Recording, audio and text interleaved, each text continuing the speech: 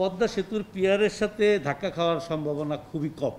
Peer পর্যন্ত পৌঁছতে পারবে না। ডু গেট মাই পয়েন্ট কারণ পিয়ারের বাইরে পঁচিশ ফিট মানে রেডিয়াসে তার মানে পঞ্চাশ ফিট ডায়ামিটারের একটা ক্যাপ আছে। তো শিপ টিপ যাই যাক, ওইখানে কিন্তু ধাক্কা খেয়ে যাবে। ফেরি তো আরও ছোটো, ফেরি কিন্তু ধাক্কা খেয়েছে পিয়ারের পিয়ারের সাথে না, ওই ক্যাপের সাথে পাইল ক্যাপের সাথে। কিন্তু সব জায়গায় আমি দেখলাম যে মিডিয়াতে অনেক জায়গায় আসছে যে যে না, এটা পিয়ারের সাথে ধাক্কা গেছে না, পিয়ারের সাথে ধাক্কা করার কোনো সম্ভাবনাই নেই।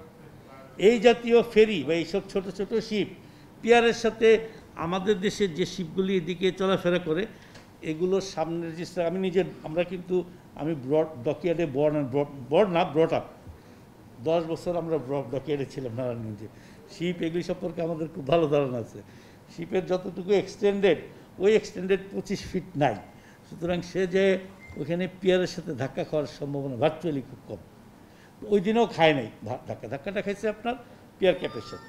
তো পিয়ার ক্যাপের একটু উঠে গেছে। একটা জিনিস আপনাকে খেয়াল রাখতে হবে, পৃথিবীর কোনো ইঞ্জিনিয়ারই বলতে পারবে না যে আমার এই স্ট্রাকচার কোনো দিন ভাঙবে না। কিন্তু আমরা চারটা ইঞ্জিনিয়ারিং সেফটি নিয়ে পদ্মা সেতু আপনার নির্মাণ করছি।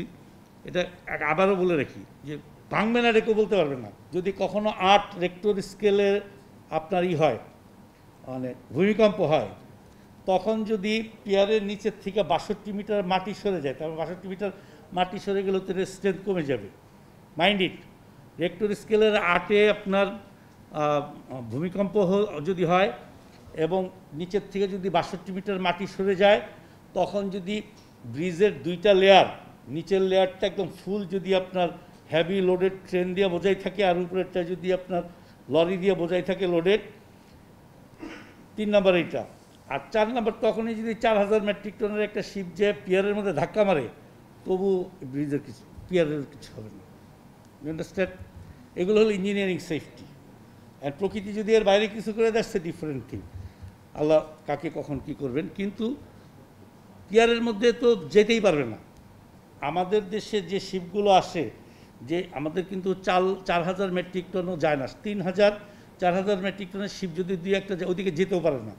গেলেও সেগুলো কিন্তু লোড থাকে তিন হাজার আড়াই হাজার মেট্রিক টন সুতরাং চার হাজার মেট্রিক টনের শিপও যদি ধাক্কা মারে এবং চার হাজার মেট্রিক টনের শিপ কিন্তু পিয়ার পর্যন্ত পৌঁছতে পারবে না, আগেই আপনার ওই পিয়ার ক্যাপের মধ্যে স্টপ হয়ে যাবে গিয়ে। তো সুতরাং সেই দিক থেকে আল্লাহ রহমতে আমাদের সেফটি আছে। ডেফিনেটলি ধাক্কা খেলে তো আপনার একটু উপরে কিছু লাগবে। আমরা ভয় পাচ্ছিলাম যে শিপ লঞ্চ ডুবে যায় ফেরি ডুবে যায় কিনা, সেটা ভয়ের বেশি একটি কারণ ছিল। তো আমরা কালকে পরশুদিন দেখে দিয়ে সব ঠিক করে দিয়ে এসেছি এখন আমরা চ্যানেল করে দিছি। এই চ্যানেল এক চ্যানেল দিয়ে যাবে, আরেক চ্যানেল দিয়ে বেরিয়ে আসবে, যাতে আর কোনোই না হয়।